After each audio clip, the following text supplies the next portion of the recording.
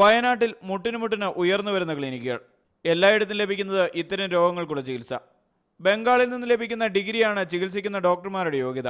പാരമ്പര്യ വൈദ്യന്മാർക്കൊപ്പം മൂന്ന് മാസം നിന്ന സാക്ഷ്യപത്രമുണ്ടെങ്കിൽ ഈ ബിരുദം കിട്ടുമെന്ന് തുടക്കത്തിൽ തന്നെ ബോധ്യമായി.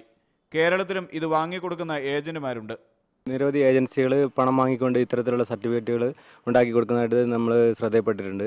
സാധാരണ നമ്മളിപ്പോൾ അന്വേഷിച്ച് കഴിഞ്ഞാൽ ഒരു മൂന്ന് മാസം കൊണ്ടൊക്കെ ഈ പണം കൊടുത്തു കഴിഞ്ഞാൽ ഇത്തരത്തിലുള്ള സർട്ടിഫിക്കറ്റുകൾ അവർ നമുക്ക് ലഭ്യമാക്കുന്നതാണ്.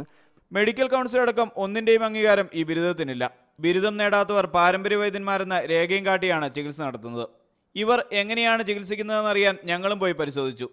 ചികിത്സാ മുറി മുഴുവൻ അലോപ്പതി മരുന്നുകൾ.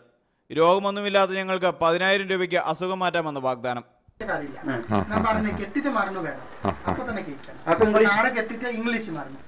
മൂന്ന് രണ്ട് മൂന്ന് നാലൊക്കെ അത്യാവശ്യത്തിന് മരണം ഉണ്ടാവും ഇത്തരത്തിലുള്ള നൂൽക്കമ്പി ഉപയോഗിച്ച് കെട്ടുന്നതാണത്രേ ചികിത്സാ രീതി നൂൽക്കമ്പി ഉപയോഗിച്ച് കെട്ടിയാൽ രോഗം മാറുമോ എന്ന ചോദ്യത്തിന് മാറിയില്ലെങ്കിൽ പണം തിരികെ നൽകുമെന്ന ഉറപ്പ്.